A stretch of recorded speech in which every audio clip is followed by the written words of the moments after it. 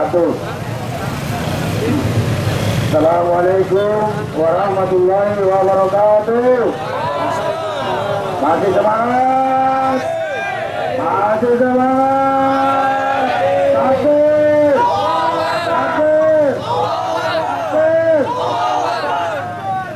Saudara-saudaraku sekalian yang dirahmati Allah Subhanahu wa taala. Allahu Akbar. Allah Maha Besar. Artinya presiden kecil, menteri kecil, gubernur kecil, bupati kecil, polres kecil. Yang besar hanya Yang besar hanya Nah, kita ulangi ya. Allahu Akbar. Presiden kurang kencang, yang kencang. Presiden, Menteri, Bupati, Polres, yang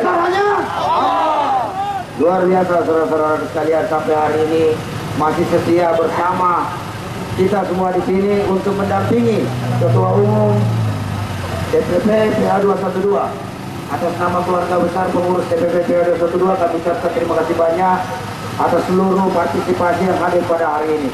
Saudara-saudaraku sekalian yang dirahmati Allah Subhanahu wa taala bahwa kita masih penasaran sebenarnya terkait masalah pemanggilan Ketua Umum PA 212 Ustaz Slamet Marif. Kenapa saya nyatakan demikian?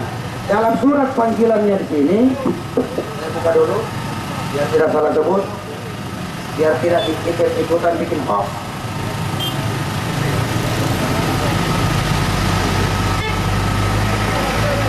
Nah, di sini beliau dipanggil atas pelanggaran pasal 20 Undang-Undang Nomor 7 Tahun 2017 tentang eh, pemilihan umum. Pasal 20 bunyinya begini. Satu pelaksana, peserta dan tim kampanye pemilu dilarang. Nah, A. Mempersoalkan dasar negara Pancasila, pembukaan Undang-Undang Dasar Negara Republik Indonesia tahun 1945 dan bentuk negara kesatuan Republik Indonesia. Saya yakin pada acara tanggal 12 Januari kemarin mayoritas juga hadir di sini, betul apa tidak? Saya tanyakan, ada nggak yang disampaikan dalam tausiah Ustaz Slamet Ma'arif menyatakan bertentangan dengan poin satu di atas mempersoalkan terkait dasar negara Pancasila ada nggak? Ada tidak tausiah daripada Kiai Slamet Ma'arif terkait masalah pelanggaran pembukaan undang dasar tahun 1945 ada tidak? Dan ada tidak tausiah Kiai Slamet Ma'arif menyatakan terkait masalah dilarang bentuk negara kesatuan Republik Indonesia. Ada tidak? Tidak ada. Jadi poin satu huruf A ini batal demi hukum karena banyak saksinya di sini ribuan yang jadi saksi. Tidak ada satupun kalimat-kalimat tausiah yang disampaikan oleh Kiai Slamet Ma'arif bertentangan dengan mempersoalkan dasar negara kesatuan negara Pancasila, pembukaan undang dasar tahun 1945 dan bentuk negara kesatuan Republik Indonesia. Justru persaudaraan alumni 212 selalu menjagorkan untuk menjaga agama, bangsa dan negara dan cinta NKRI. Betul tidak? Nah ini dituduh begini. Jadi poin 1A ini batal demi batal demi Nah, batal itu hukum. Jadi satu ini Pak Polisi dengarin itu penyidik. Biar nggak lama-lama kita bantu penyidik. Kita bantu penyidik biar cepat-cepat Ustaz Selamat dikeluarkan ke sini karena tidak ada sebenarnya. Nah kemudian yang kedua, huruf melakukan kegiatan yang membahayakan keutuhan negara kesatuan Republik Indonesia. Emang kemarin ada kegeger nggak sih 12 Januari? Saya penasaran. Perasaan saya lihat aman damai sejahtera saja. Betul tidak? Ada tidak? Kegiatannya yang membahayakan kesatuan, keutuhan negara, kesatuan Republik Indonesia ini. Saya tanya, mungkin banyak peserta di sini, Kiai kemarin yang peserta sini, ada tidak? Sama sekali tidak ada, saudara-saudara. Justru Tausiah Selamat Ma'arif ingin menyatukan masyarakat Solo ini, terutama khususnya lebih khusus umat Islam untuk kembali berpegang teguh kepada Al-Quran dan Hadis. Dan ini kewajiban kita semua. Betul tidak? Dan Al-Quran dan hadis sama sekali tidak bertentangan dengan Pancasila dan Undang-Undang Dasar tahun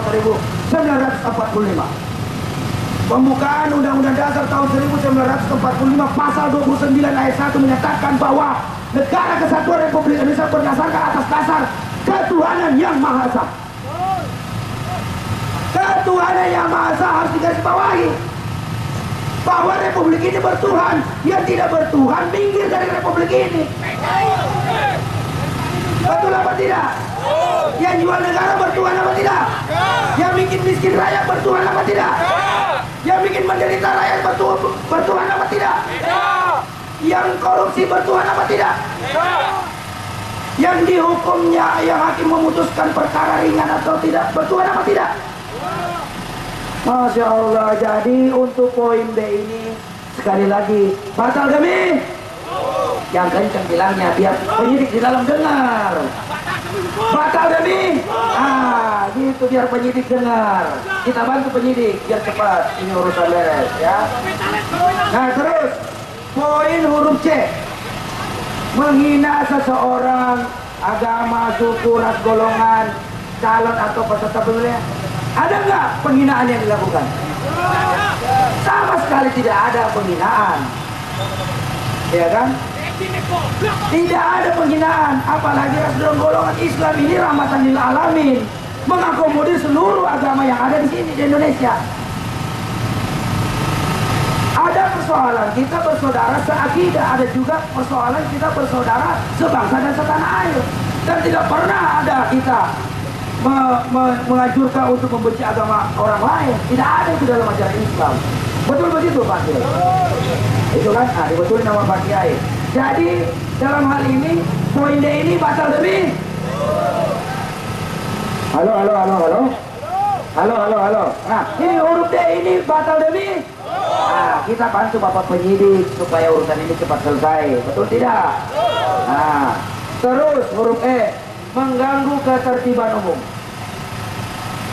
mengganggu ketertiban saya yakin 100% bahwa panitia pelaksana kegiatan tanggal 12 Januari kemarin itu pasti pasti membuat surat pemberitahuan kegiatan di kepolisian. Betul apa tidak? Ya otomatis karena sudah diberitahukan kegiatan itu, maka kewajiban pihak kepolisian untuk mengamankan dan menertibkan pelaksanaan acara tersebut sesuai dengan Undang-Undang Nomor 9 Tahun 98 tentang tata cara penyampaian pendapat di muka umum. Jadi sudah jelas Tugas polisi bukan menyalahkan orang yang banyak datang bikin macet, bukan. Tugas polisi mengatur lalu lintas, membuat uh, apa jalur-jalur baru, pengalihan pengalihan arus lalu lintas sesuai demi keamanan dan ketertiban pelaksanaan acara tersebut. Nah sekarang saya tanya, pelaksanaan acara tersebut berjalan lancar tidak? Berjalan lancar. Jadi lagi-lagi apa yang dilaporkan oleh uh, apa yang melaporkan pihak yang membuat melaporkan Ustaz Slamet Farid ini lagi-lagi membuat hoax. Jadi otomatis poin satu huruf E dalam hal ini mengganggu ketertiban umum batal demi hukum. Nah, kita bantu Bapak penyidik ya.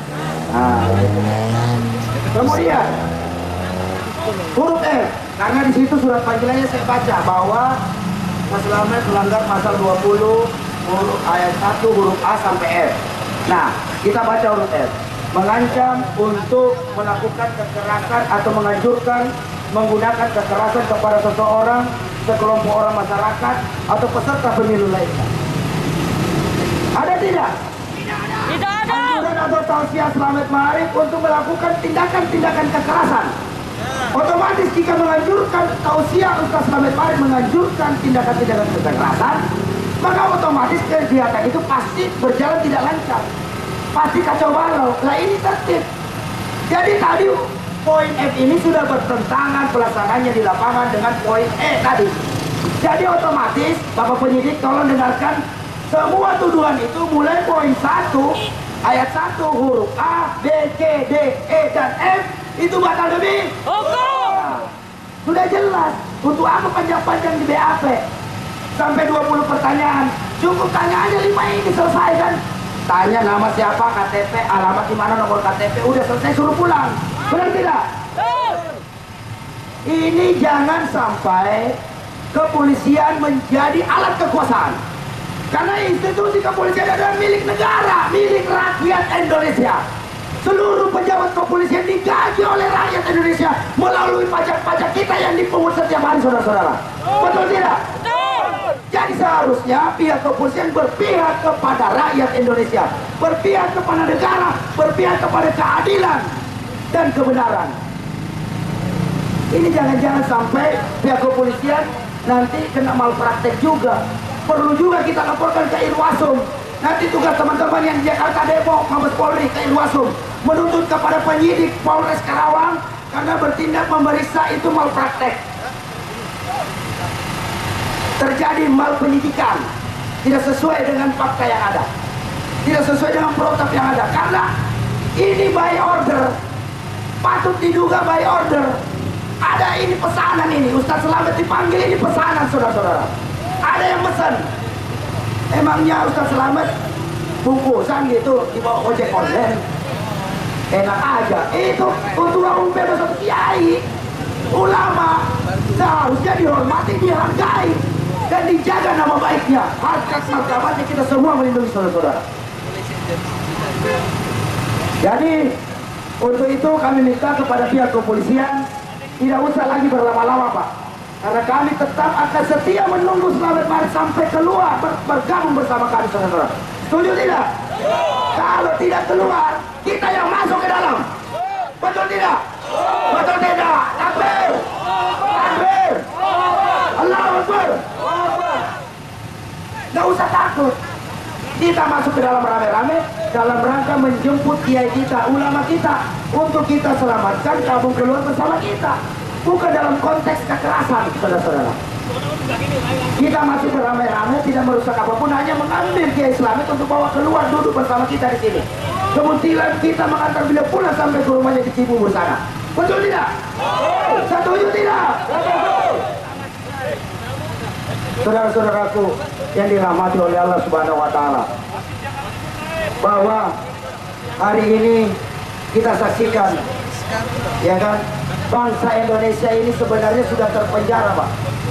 Terpenjara oleh kepentingan asing dan asing. Kenapa saya bilang? Penjara itu ibaratkan sebuah kalau dalam bahasa Indonesia itu penjara itu orang yang dalam penjara itu mengalami penderitaan baik psikis maupun material Nah kita juga di luar ini walaupun kita ada di luar sebenarnya kita ini sudah terpenjara hari ini. Kenapa? Kita sakit hati. Kenapa kita sakit hati? Ulama kita dikriminalisasi. Sakit hati tidak? Itu melukai psikis kita. Secara materi kita datang juga ke sini melakukan aksi-aksi. Memang yang datang dari Jakarta pakai daun kita. Tentunya dengan biaya sendiri. Jadi kegiatan-kegiatan seperti ini sudah melukai fisiologis dan material kita sebagai anak bangsa, saudara-saudara. Jadi sudah sepatutnya maka terjadi banyak amanah-amanah, terutama dasar negara kita bahwa pemerintah hari ini tidak mampu menciptakan keadilan sosial bagi seluruh rakyat Indonesia. Setuju tidak? Tidak ada keadilan hari ini. Orang tausiah dipanggil. Orang yang mulutnya kayak comberan dibiarin. Ini keadilan macam apa ini yang mau ditegakkan?